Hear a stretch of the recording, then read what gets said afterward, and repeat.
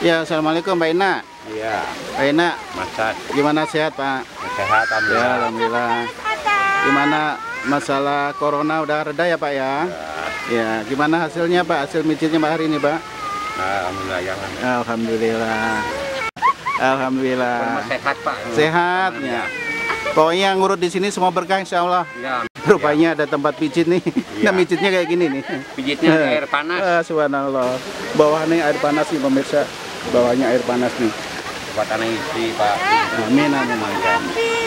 Biasanya berapa orang Pak sehari ini Pak? Nah, tertentu pak. Kadang-kadang kadang-kadang Kadang-kadang ada empat. Ada empat. Paling minim biasa empat.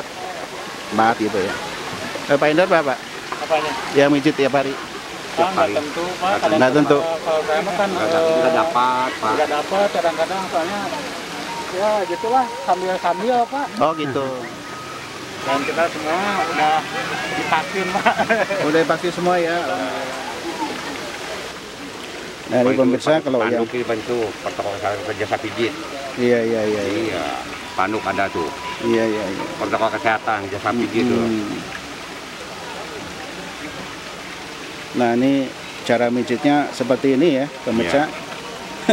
Jadi kalau anda ingin dipijit kayak gini nih harus yang penting ta- yang penting tahan lagi. sakit aja. Tahan sakit. Iya. oh nggak sakit ya? Nggak sakit sedang lah. Yang- kalau memang direndam kayak gini di air panas subhanallah mang. Mana ada sakitnya direndam dulu.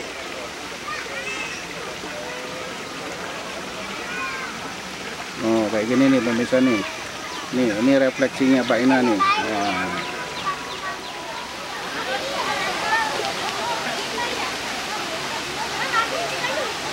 Yeah.